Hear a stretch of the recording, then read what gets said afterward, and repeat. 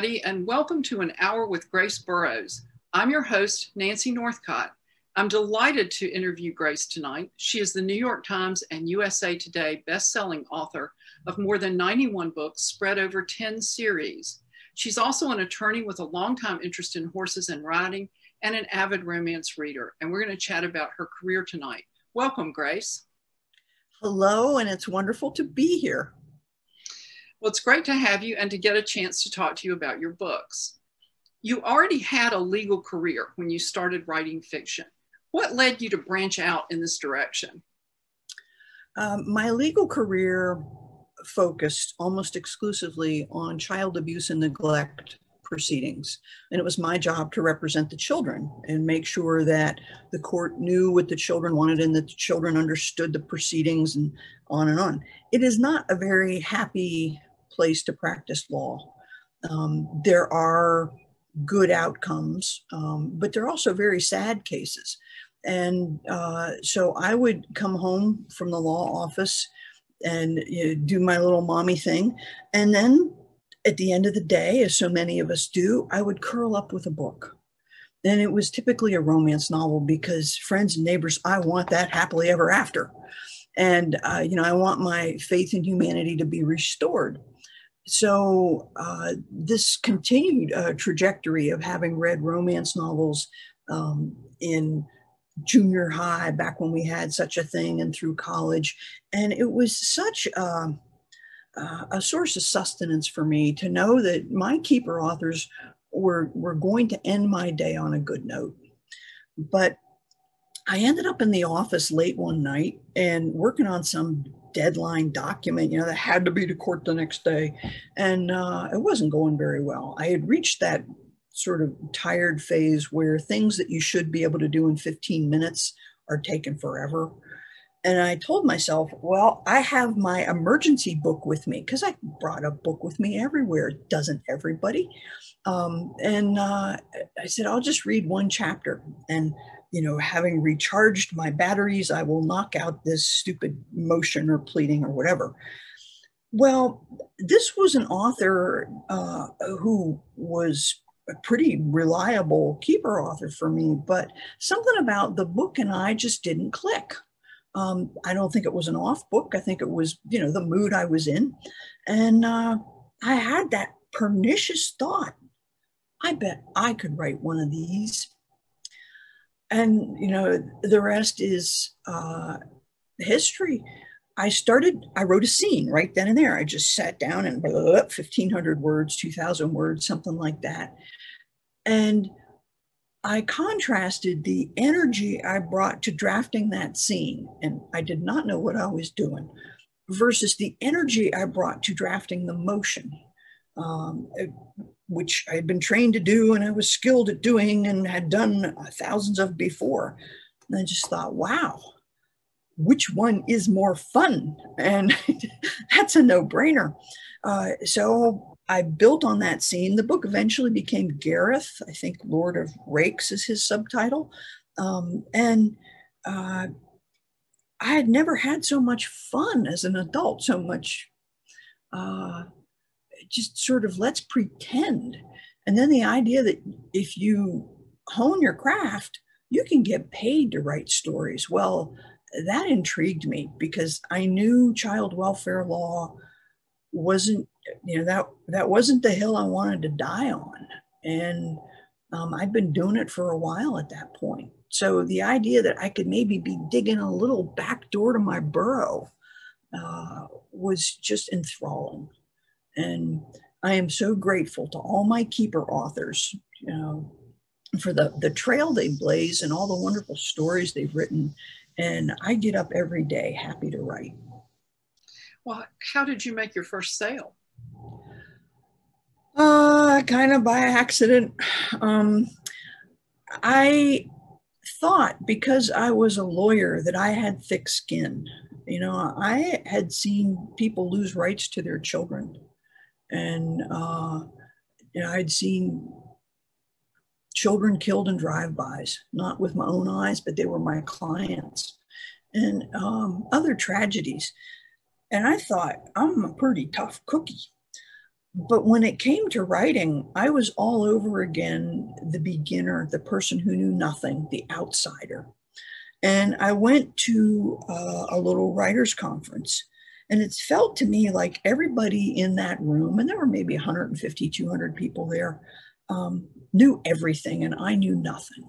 And they were tossing around acronyms I didn't understand and uh, you know, referring to things like an elevator pitch. And I wonder, why do you throw elevators around? That makes no sense to me. But if you toss a telephone pole in Scotland, you know, that's how uh, unsophisticated I was about the business. Uh, so the the first session of this conference was an agents and editors panel, and those people sat in the front of the room like, you know, the, they knew everything and I couldn't even understand the questions, much less the answers. But I was there for the weekend and I figured this venue has a bar and I do not typically imbibe, but I'm going to treat myself to a white Russian. And it, it is still my treat drink. Um, I went to the bar and I ordered myself a white Russian. I figured I'm just going to go up to my hotel room and I'm going to write. I can at least do that. I can write. And there was a woman at the bar who had a knitting bag. And I remembered that one of the people on that Smarty Pants panel had a knitting bag. And I turned to her and I said, Am I supposed to pitch you? And she got this smile on her face, like, Oh, Lordy, I'm at another writers' conference. The woman happened to be Deb Werksman, uh, who is, I think, a, now a director or a managing editor at Sourcebooks. At that point, her job was acquisitions. And she was so kind. She said, Would you like to pitch me? And at that point, every coherent thought in my head flew out the nearest ear. And I forgot the names of my characters. I had trouble forming coherent sentences. I had the equivalent of stage fright. And she pulled a pitch out of me, you know, tell me about your favorite book. And uh, it ended up with, well, she said, why don't you send me what you think are your best three? I had no idea what my best three were. And so I sent her three, and she said, well, I'm interested, but send me three more. And this went on over a period of months. Uh, and finally, she made an offer. And uh, that started the ball rolling back in 2010. Um, and it, it was quite an education, you know, going through the, the traditional publication process. But you know, I am very lucky that I was in the right place at the right time. I ran into the right person, and eventually I showed her the right books. But so many pieces of Swiss cheese had to line up. You know, what if I had stuck to my guns and, you know, stayed for the whole panel or for the mixer afterward or what if I hadn't asked her a simple question? Or what if she had said to me, Oh, well, you're supposed to sign up for the appointments on Tuesday. Any dummy should know that. Um, but it worked out. So I'm, I'm just pleased because it's been fun. Well, you know, a lot of people who are really composed and do a lot of oral presentations, as you do as as a trial attorney, or were doing at the time as a trial attorney, have trouble telling people why you should buy my book as opposed to why you should be on this person's side. You should do what will help this person. And yet, it's when it comes to a book, it's why you should like what this thing that I personally have done. And so, really, it's would you say that it's a whole different kind of presentation? it is a whole different kind of presentation and also uh, as a, a, female in particular is up against a cultural perception that when she is advocating for somebody else then she is strong and virtuous and articulate. When she is advocating for herself she is pushy and arrogant and unfeminine. And uh, you know i was raised in this culture so i'm sure that handicaps my ability to be a self-advocate. Well, I'd like I'd like to go back to something you mentioned uh, a few minutes ago. You said you were sitting in your office and you just wrote a scene and it turned out to be a scene from Gareth. Are you usually a linear writer, or do you write scenes as they come to you, or what what method do you have for organizing the story and going through it to put it on paper? I I think this is a, a question. The analogy that comes to mind to me is the iceberg. And some of us are writers who have to see the whole iceberg. And others of us are writers who say, What was that? I think that was the tip of an iceberg. And we start paddling out there. Um, but the iceberg is the same. It's just a matter of what process you use to discover it. I have started writing a, a book on the strength of a single line of dialogue. Uh, the last thing he needed was an intelligent wife. I just woke up one more morning and heard that thought in some guy's Scottish accented self talk. And, you know, what's the matter with you, dude, that you don't want a smart wife? Tell me the rest of it. And it has been an evolving um, sort of Rubik's Cube for how do you take uh, an organic process and make reliably good books out of it because it's really scary you know to think I need to come up with a whole story here. It's got to have subplots and secondary characters and symbolism and unifying symbols and a theme and all this stuff. And I've got one line of dialogue. This is not a very sound plan, uh, but it's it is the way I work, where I'll start with a little bit of sort of eavesdropping on my characters as they find themselves in a predicament but a predicament or a premise is not a book. And so then you have to ask yourself, uh, you know, what is the one thing they're not willing to do to solve this predicament? What is their worst fear? What is their defining trauma? What is their family trauma? And you just keep rummaging around in all of this character material, or I do, and eventually something emerges that you know has legs. You know that's got momentum. You know that's not quite what the reader's expecting, but it could work. And uh, you know, then clickety clickety clicky, right and right and right. Um, and you know, so far, this sort of not overdriving my headlights approach to writing has worked.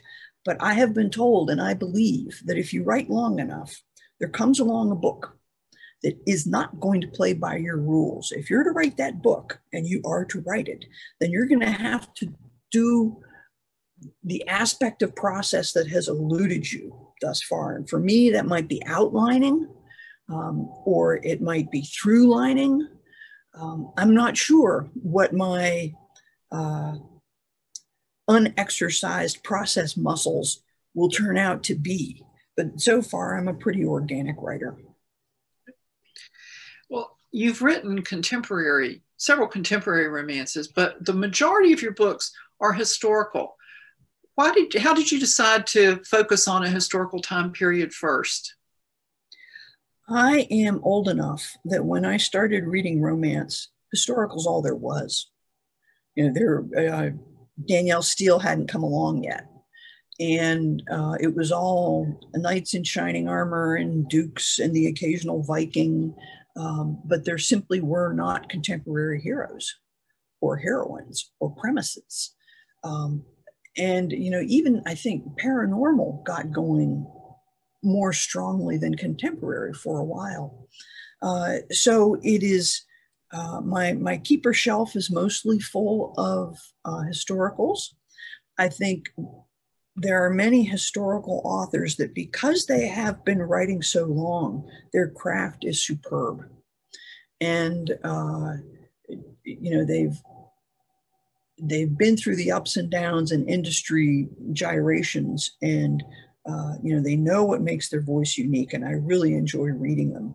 The Mary Baloghs and uh, Loretta Chases Julie Anne Long. There are just some outstanding talents. So, on the one hand, I grew up reading historical. On the other hand, I think some of the best writing role models have been writing historical, or they were as of 10 years ago. I mean, there's talent in every subgenre and phenomenal talent, but I was exposed to the historical talent. Um, and that shaped my appetites as a reader. Uh, but also, I like the historical context for several reasons. Firstly, everybody is an expert on real life. You know, everybody has seen a courthouse. Everybody uh, has gotten a, a parking ticket. There are plenty of people who know the layout of downtown DC. And so, writing contemporary has a particular challenge in that regard, in that you are writing very close to reality. And most people feel pretty strongly about their perspective on reality. So, it's a, careful balancing act in terms of world building. Um, how close to real reality do you go? Uh, and I um, feel more comfortable working with historical reality. I think there's more latitude. Uh, we have different perspectives on it, and you can mine historical contexts for current themes such as women's empowerment, militarism, um, gentrification, and uh, do so at a distance of 200 years and get your message across without um, pushing buttons. So, you know, I like that sort of historical, mm, what would you call it, distance. Mm-hmm. Well, and following up on that, your first series that was published was historical, and that was the Windham family. How did you come up with that this particular family? I did not. Um, I I met the Windhams as I was writing The Lonely Lords, and I, I came across, I think it was Douglas's story, where there was this officious, meddling, difficult Duke uh, who was in fact the villain. And uh, he was the villain for reasons which became understandable. Um, but the way he went about um, pursuing his objectives was just scurrilous. Uh, you know, it was arrogant. Um, but lo and behold, he came equipped with a duchess who could cut him down to size with a raised eyebrow. And I thought, who do I know like this? Well, my parents were married for more than 70 years. And it was a very traditional union where, you know, dad was the breadwinner and mom stayed home with seven kids. But I knew very well that it was a power sharing arrangement um, that uh, it was a division of labor along traditional lines, but it was not a matter of one person was the duke and the other person wasn't. There were, you know, it was a duke and a duchess uh, in my family. And so, being the sixth of seven children, writing a large family uh, just feels like home to me. And uh, you know, so I met this Duke and I met his oldest sons and just sort of uh, figured, well, this is an interesting family. So I finished up a few more Lonely Lords and I thought, well, why don't, now, I would like to know more about what's going on with the Windham family. So I wrote a few more books for them. You know, I wrote a book for the, the beleaguered heir, and I wrote a book for uh, the pianist. I have a degree in music history. That wasn't all that big a stretch. Um, and not only that, I have a degree in music history because I cannot perform at the keyboard. I fall apart. My hands shake too badly. Uh, so I thought, why don't I give this guy, this hero, one trick? He'll be a heck of a pianist. And then I'll take that away from him. Well, you can see this is fun this is interesting. These people are, uh, you know, asking to have their stories written. So uh, when I pitched to Deb Werksman, she eventually lit upon, after sifting through many manuscripts, the first three Windham brothers as my initial trilogy. And that was very shrewd of her, um, you know, because brother trilogies, they have some traction right out of the gate. And they did 10 years ago and they still do now.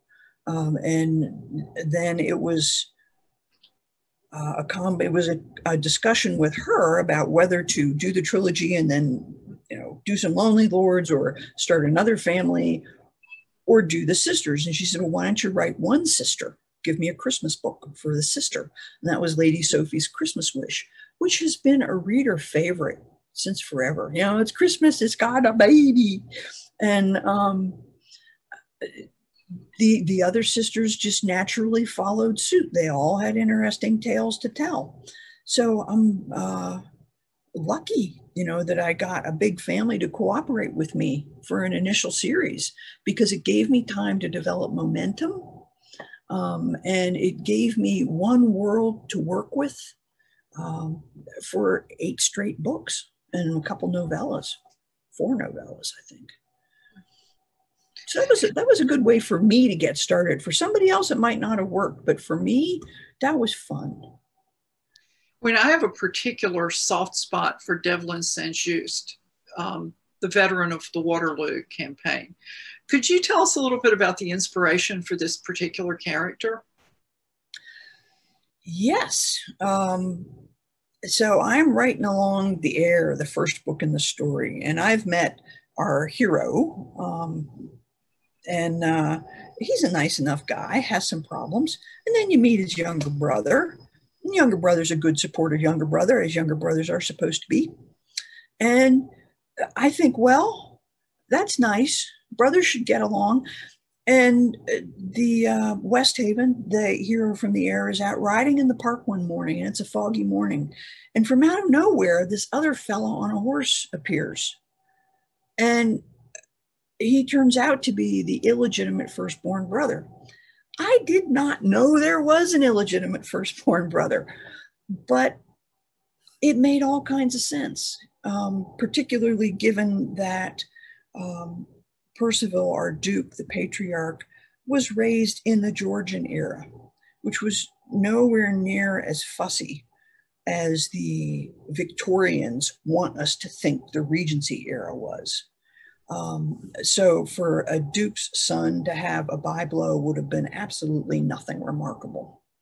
And uh, it, my mother's antecedents uh, were Irish and uh, Ireland, I think, is underrepresented in historical romance. There's fascinating history there and tremendously rich culture and um, I, I wanted to get in one for mom.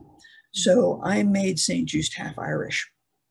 And, uh, you know, he has turned out too to be a reader favorite. He shows up in the Captive Hearts trilogy. Um, and uh, he's just something about that man appeals to a lot of readers. Yeah. Well, and, you know, speaking of the Duke Duchess of Moreland, they not only appear in the Lonely Lords, they kind of pop up in lots of different places. Is there any particular thing that inspired you to have them do that? They they appear from time to time, which is is fun for readers, but I just wonder why you decided to do that. Well, because I think, like many romance authors, before I was an author, I was a reader. And when you see one of these Easter eggs, as we call them, it's like, oh, I know him. I know him and his horse's name and what, you know, his preferred scent is. And I know that he used to stammer. I know him. I know him. It just makes you light up, like when you see a friend across the room. Um, and uh, you may not have time to say more than, hi, we should do lunch, but it still brightens your day. And, uh, you know, so it is with uh, my characters. If I had it to do over again, I would probably write more in silos. Um, because, particularly from a chronological perspective, my list has some pretty rough seams where if you read these five books and these five books, it's very hard to get them to do this um, because they weren't published in the order they were written. But uh, I felt as if Percival and Esther were my foundation couple. And not only that, in the world I write in, they were a very powerful couple. Uh, so for them to have their fingers in this pie and know everybody and turn up at all the um, the A-list dues made sense. It was consistent with the world. Well, and they seem to come along to lend a helping hand now and again, like to Quinn Wentworth, for example. Um, yes, They are a little bit of a deus ex machina. Um, you know, you know, if Percival and Esther show up, things are going to improve. Usually, they're not going to get worse. Um, and I hope that's a reflection of the fact that if we have a lot of power and influence, we should be using our powers for good. Yeah. Yeah. Well, you also have several other family groups the Dornings, the Haddonfields, the Wentworths, and you just wrapped up the Dornings with Sycamore. And they also are favorites of mine. So, what gave you the idea for this big kind of rackety family to fill out one of your series?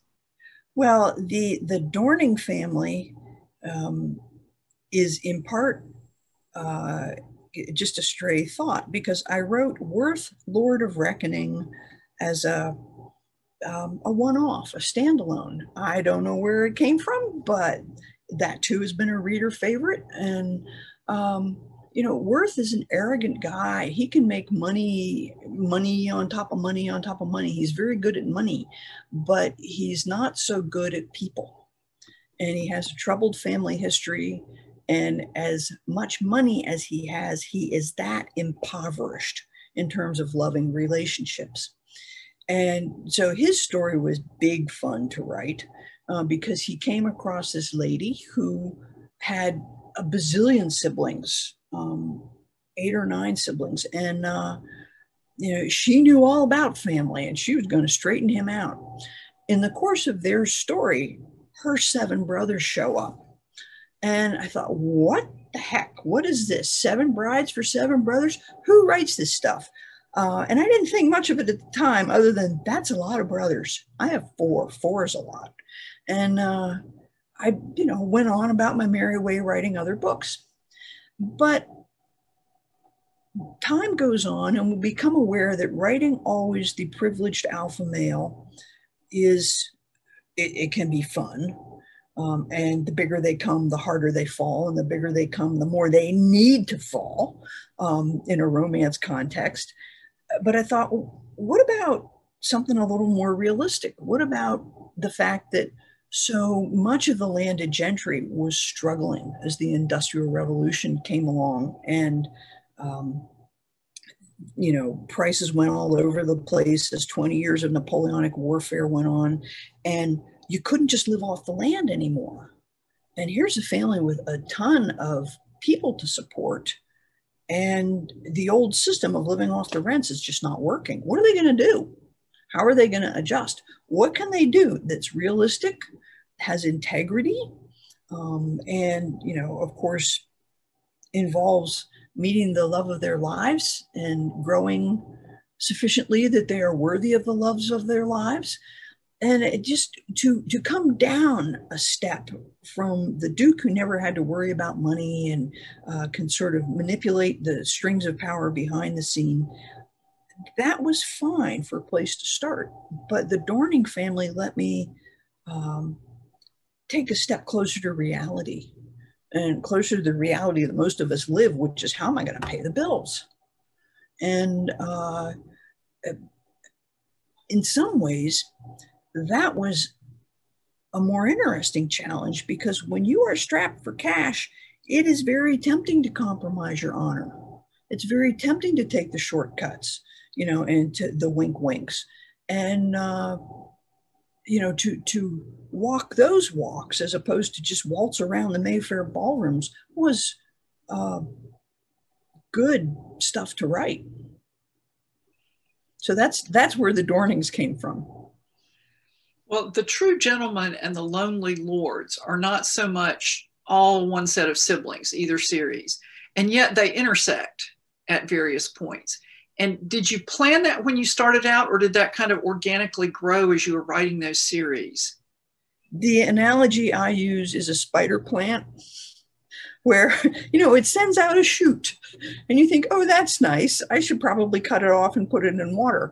You know but then whoops there's another shoot coming out here and the shoots have shoots. And pretty soon you've got this gertrude mcfuzz kind of tale and um, that's a dr seuss analogy meaning it's far more uh, kind of complex and grandiose than I had envisioned. And uh, it you know, as I said, if I had it to do over, I would write a tidier world, but I don't.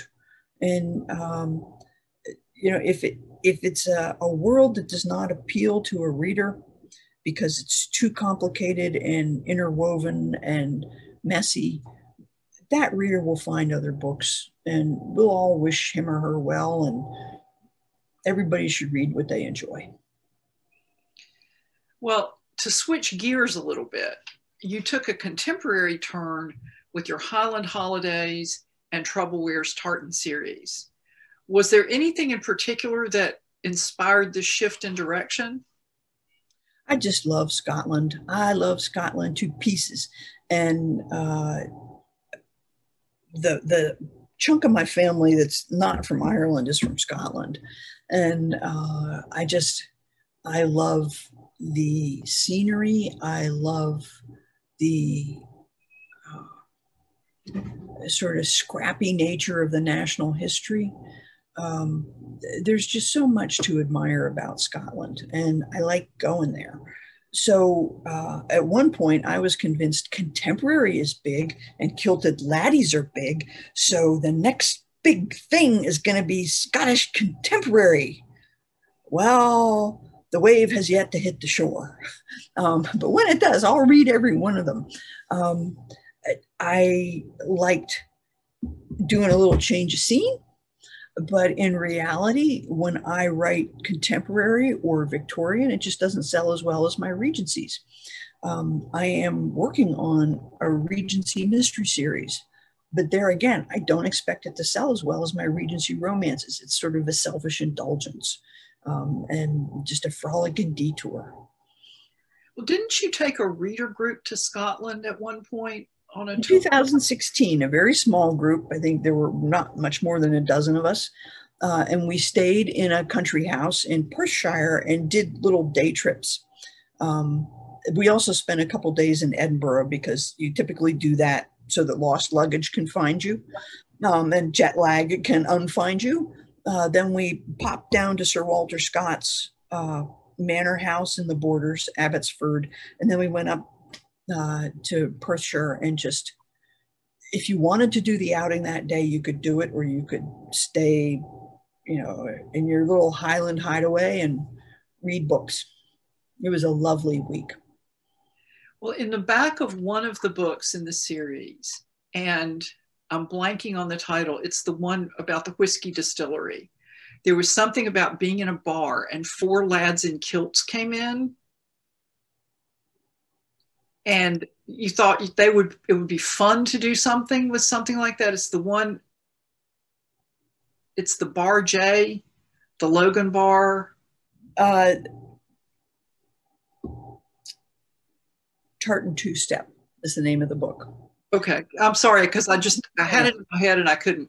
Yeah, um, it's set in Montana, but the and this is part of the Trouble Wears Tartan series, um, in which the premise is you take a Yank and a Scotsman or a Scotswoman and an American fella and team them up. And oh, I had fun. I got to write sort of a kilted cowboy, and uh, it's I've, I think about adding to that series to be honest. Um, but you know, Regency is my bread and butter and my home, and uh, it, it's it has to come first. Put it that way. Well, you know, one of the things that was interesting about that particular book was the discussion of what makes a good whiskey and the nuances of nose and flavor and finish in a whiskey. And was that something that you had already studied or did you get dig into it for that book um, both. Uh, my dad's area of research was for a long time flavors and fragrances. So he would sit at the head of the dinner table and say mama you know this has that old dirty gym sock flavor. Is there a little cumin in this? And um, you, you, know so he was aware of flavors and fragrances and my mother did not kill him. Um, and you know so i i was raised to be aware of flavors and fragrances and i delight especially in fragrances um, i have toured probably a half a dozen Scottish distilleries. And I do enjoy uh, not too peaty whiskey. Um, and uh, the, the sort of little twinkle in that uh, book is if you go to the Dewar's distillery in Aberfeldy, they'll tell you, and it's, it's, it's marvelous marketing, but they'll tell you that whiskey has three ingredients, and one of them is water. And uh, so the, the water that you're starting with is important. And it is myth or legend or folklore that Dewar's whiskey is made with water that has a trace of gold in it. And I just thought, gold, gold, gold. Montana. There's gold in Montana. There could be gold. Ooh, you know, and off I went. Um, had another book to write. And so uh, it's it's just curious how little twinkles will connect things that you think are disparate and what fun it is to write about them. Well, you know, and one of the things that to me made that trilogy interesting was for years, I've heard the conventional wisdom is don't write a land development plot. And each of those books has some aspect of land development in it. And yet it it's not a two dogs, one bone situation between the hero and heroine, which I think is one reason those were frowned upon. So when you were, were working on those, did you think of that as a potential landmine or did it just grow from the original concepts for the books? Well, I am concerned about land development. You know, I live in rural Maryland and I'm fortunate that my neighborhood is zoned agricultural conservancy. So it will never become a development. Um, and the issues I raise about, you know, the developers want good farmland. They don't want scrubby old hillsides. Um, and it takes generations to bring farmland to its peak uh, yields. And um, we're just gobbling up farmland left, right, and center. There's a whole nother layer to the discussion in the sense that population over the next generation or so has peaked. You know, it's we don't need to feed as many people as we are feeding now. Um, but uh, I think it's a juicy issue, and the they tell you in conflict manager school that the thorniest issues, the ones that are hardest to resolve, are two party one issue at the level of a value. You know, not an, an issue about what movie are we going to see tonight, but is security more important than freedom? Um, is privacy more important than security? Uh, th- those things that you, you just we all have a different perspective, and the one you hold is very hard to let go of. Um, and I think land use is such an issue because once the land has been developed, it's gone. You know, it, no more cornfield from there. Uh, but people need places to live and communities need tax bases. So there are a lot of ways you can plug in and create a dialogue around why do we feel what we do in this regard. Um, and I guess I didn't listen about that never use land use because boy in Scotland land use is a huge issue um, you know, the, it, and it goes back hundreds of years. And it does in uh, the rest of the UK too. Uh, some of the first um, acid rain cases were brought by Welsh farmers in the 1760s because all of the smelting um, and uh, ironworks was destroying the arability of their land. The sky was so dirty, you know, that it was polluting the soil and they couldn't grow their crops. And they lost, unfortunately. There was a lot about agricultural conservancy in one of the books in that series. And then you've also written on a wide range of other topics music. You said you had a, de- a degree in music, writing, post traumatic stress, dog training, herbalism, knife throwing, cooking, and adaptations for people with physical challenges. I, from reading your biography, it, it sounds like you've got a background in music and in writing. and you just told us you have a background of interest in agricultural conservancy. But do you have a background in all these other things, or did you have to research them? And if so, can you tell us a little about your process? Well, uh, I think research is one of the perks of being an author. Um, you know, you can make touring a chocolate factory into a research excursion. Um, what kind of job lets you do that? Uh, but it's also the case that as a child welfare attorney, I came up uh, against just about every variety of human ailment you can have. Everything in the diagnostic and statistical manual, every family dysfunction, every crime that can be committed. And uh, this turned out to be pretty good education for writing characters uh, in the sense that um, you know you one of my judges judges used to say you can't make this stuff up. Um, the things that people get up to in a family context are just amazing not always in a good sense. So i think uh, being a child welfare attorney forced me to learn about addiction, about PTSD, about OCD, about um, separation anxiety. You know, so many of the the things that hold us back um, show up in the courtroom, and we do stupid things because of our unresolved trauma and uh, sad things. So I would say the, the lawyering years were enlightening in, in terms of the material that I need to write good books. But I also just delight in, um, you call it research, but um, to be creative, you have to confront your brain with new material, things that it hasn't seen before. And then it goes scurrying around trying to find connections to help figure out where to fit all that new stuff in. Like, what do you do with the fact that there might be gold in the water that is made used to make Dewar's whiskey. But if you never learn that there could be gold in the water and you never learn about um, Montana's gold rush, those two little twinkles can't connect.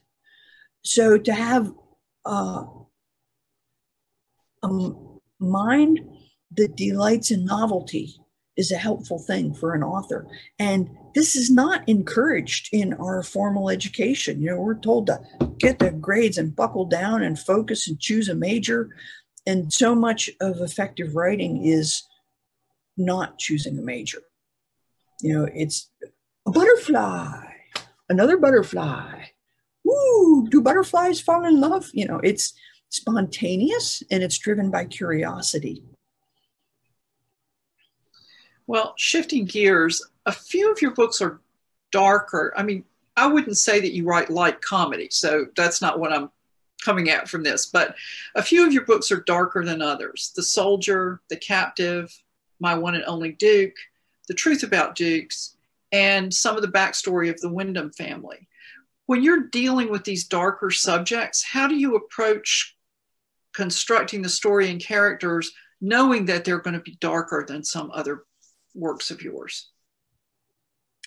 My darkest trilogy is probably the Captive Hearts, um, which dealt with torture. It dealt with disfigurement. It dealt with uh, harm to a child, and um, most of that off the page. But um, I went there because I was so angry about some of those issues. Um, and uh, I believe that love is for everybody, everybody. And I was pretty determined uh, to make that point. Um, so I think how I deal with it is a matter of the theme. And if the theme is we are all deserving of love, um, or that uh, love might be terrifying because it's transformative, but transformation is often the only way out of a serious trauma. And if I want to get those points across, I have to go there. I mean, I, I have to um, go to the shadowed side of the room. I don't have to stay there for every book. But the other thing is, having written those stories, I don't need to write them again. I said that already. Um, and the uh, Captive Hearts is by no means my most popular trilogy. In fact, there were readers who said, "You, you know, what did you do? You used to be so fun." Um, but there are other readers who have said that's my best work. And uh, you know, I think somewhere between the two, it's too dark and it's my best work is probably uh, a fair representation of reality. Well, your new series, at least based on its title, is pretty far from darkness. It's uh, Mischief in Mayfair. And you're just kicking that series off. Can you tell us a little bit about it? Um, yes. Um, Mischief in Mayfair is, so far, it's a trilogy. Um, who knows where it'll end? Uh, and it started off as a spin-off from um, the uh, True Gentleman or from the Dorning family in that in the last True Gentleman number 12 um, our finally the youngest son gets his story and um, he falls in love with a woman who comes complete with a grouchy brother. And the grouchy brother is kind of beat up around the edges. He wears an eye patch. He doesn't hear all that well. In cold weather his hip seizes up and i'm thinking this is hero material. This this fellow is just so dear um, and he's so gruff and grouchy and i just better write him a story. And um, here again i have written a lot of titled heroes and titled heroines and these people have money and it seems like you know they are awash in privilege which can make um, personal growth much harder by the way um, but uh, I thought, you know, most of London was not awash in privilege. Most of London was having a pretty hard time, um, particularly in the aftermath of the Napoleonic Wars. And um, it occurred to me that focusing on that, on sort of the historical ups and downs, the fact that habeas corpus was suspended in Regency England um, you know, the state of the prisons was awful. And uh, something like one out of every five women was involved in prostitution. It wasn't illegal. Um, let's let's go a little bit on that side of the street um, and deal with people who are maybe uh, a little more careworn, um, a little more trying to figure out, as we all are, how to pay the bills, how to raise the kids, how to keep a roof over our heads. And so I went with veterans, um, you know, fellas who had all known each other and they're all cousins um, so far. And they fought together in Spain and they all bring baggage back. And the first hero, part of his baggage is that his mother was French. And at the beginning of the Napoleonic Wars, something like a quarter of all the aristocracy had French cousins.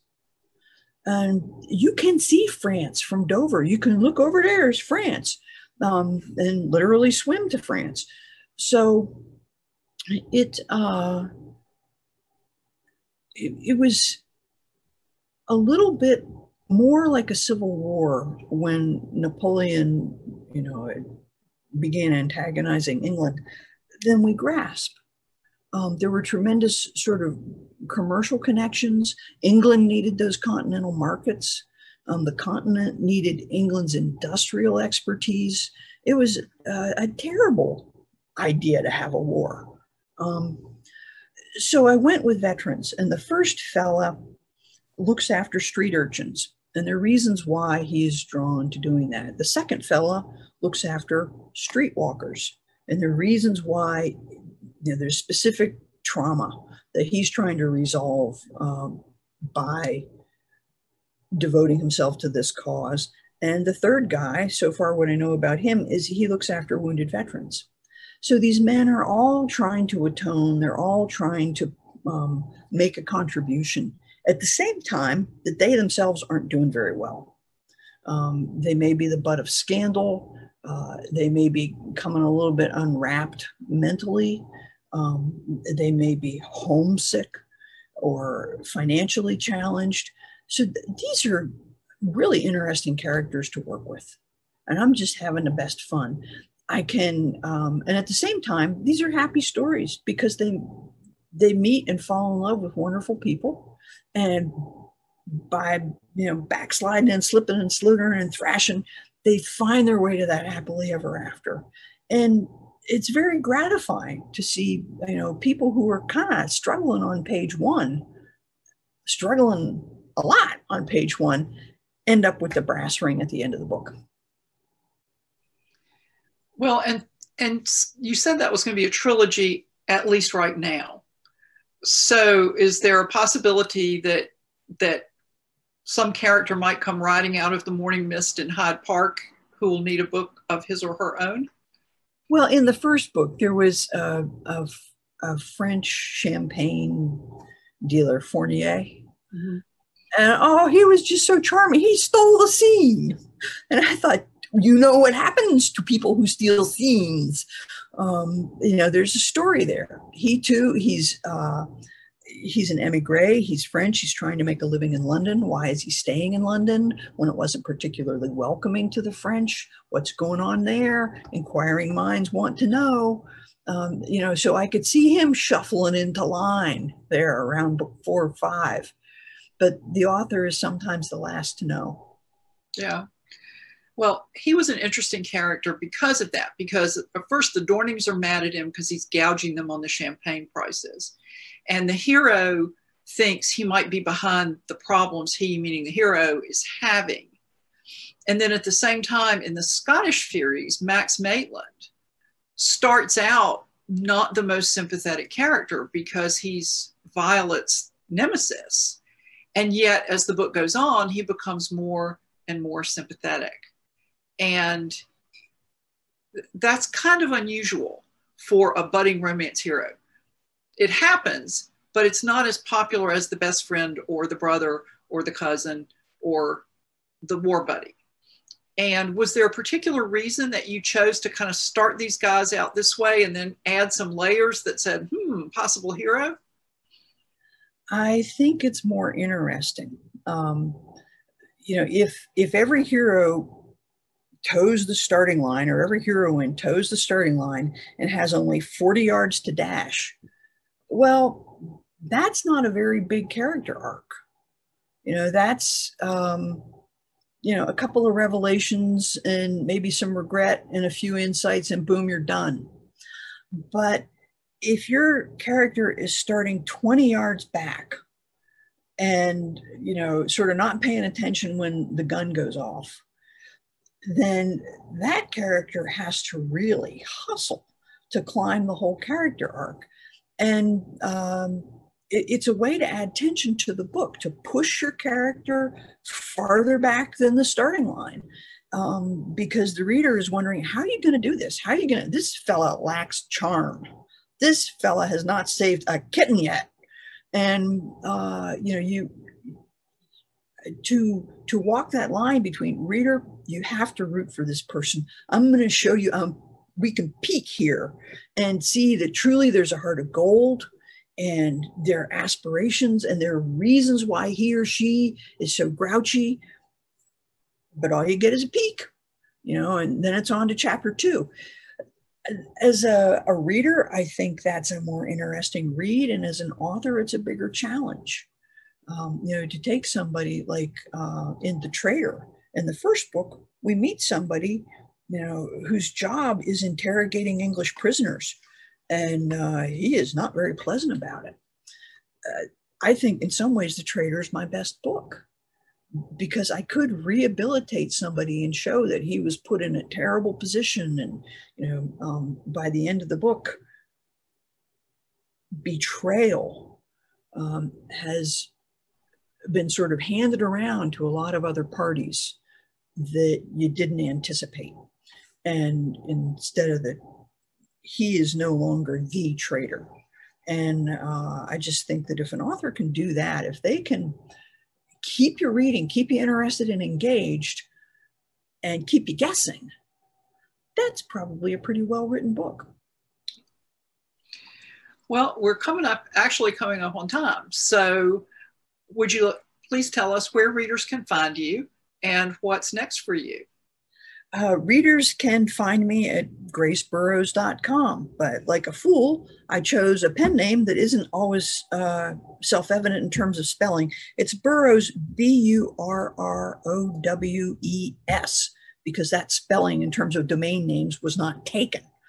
Um, and uh, that's you know my website is the best place to find me i am not on social media much but i'm on facebook some um, my favorite thing if you know you want to just stay in touch with what are you writing and when is it coming out is follow me on bookbub um, that's it's a site i enjoy and i occasionally do uh, recommend books there but uh, i would say either bookbub or the website and in terms of what's next, I will continue with the Mischief in Mayfair series, and I am publishing my Lady Violet mysteries all at once at the end of the year. You can't find pre order links for them yet because I'm going to kind of blitz this. It's a half dozen mysteries with uh, a very uh, prominent romance arc running through the series. And I've just had the best fun. The books are a little shorter, they move along. Um, they're a little more uh, oriented toward the dramatic arc as opposed to the character arc. Uh, but I could see sticking with that series for quite a while. Well, Grace, thank you so much for joining me tonight. And I'd like to thank everyone who listens and watches this interview. And remember, you can always find us on Continual, the con that doesn't end.